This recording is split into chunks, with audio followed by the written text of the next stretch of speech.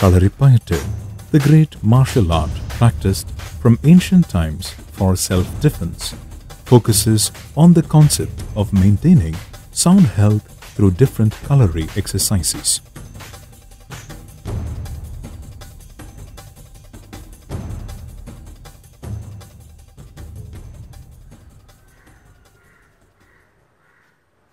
കളരിപ്പയറ്റ് എന്ന് പറയുമ്പോൾ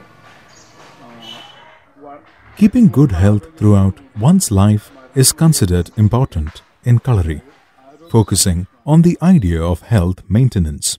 Kalari uses a combination of practices such as physical exercises, self-defense practices, and treatment methods. These practices together make the art of Kalaripayat a means for leading a good and healthy life. The first weapon we practice in Kalari is Kolthari, a long stick which is used for self-defense.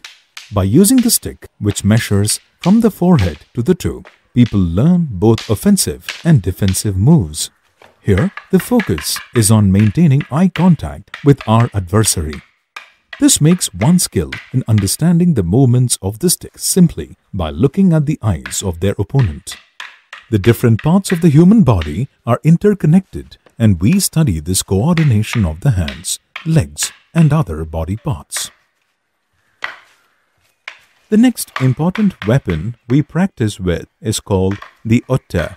The otta is used to simulate unarmed combat. The use of the otta is linked with the marma or energy points. The main aspect we learn in practicing otta is to learn about the 64 marma points in the human body. Kadara is a sharp dagger-like weapon used in Kalari.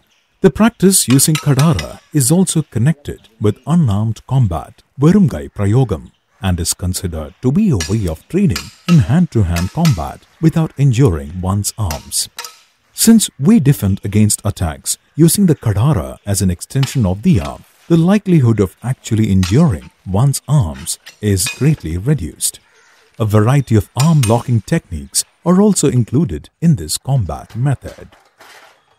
Next, we practice using swords and shields, Valum Parichayum. This is considered to be a weapon which is used traditionally in warfare.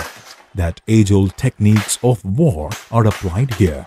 In actual wars, these weapons are used by riders on horseback. In Kalari, we jump high up into the air to simulate elevated combat positions.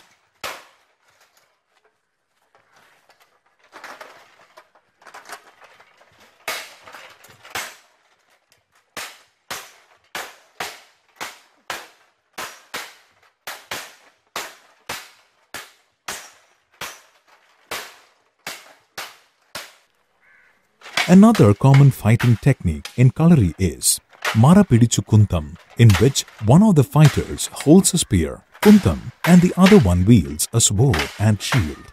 This fighting method was also common in ancient warfare and requires considerable practice to master.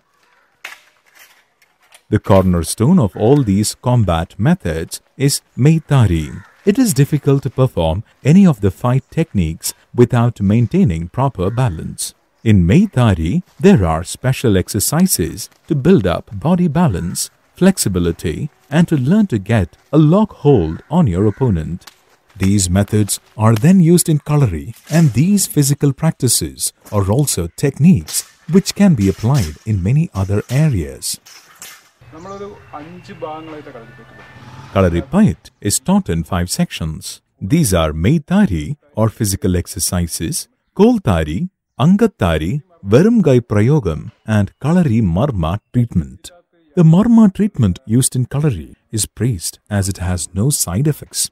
The treatment starts only after diagnosing the disease, and there is no practice of orally taking medicines. Since treatment only follows proper diagnosis, results are also often much better compared to other forms of treatment. In ancient times, these fighting methods were commonly used and Kalari was considered important. But now, Kalari may seem unnecessary as we don't have personal combat in warfare anymore. However, Kalari is not just about the fighting techniques.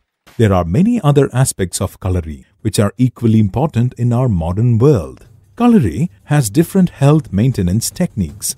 It is a means of self-defense and a good exercise which make practitioners self-disciplined. Apart from all these, nowadays, Kalari is regaining popularity as a symbol of the culture and tradition of Kerala.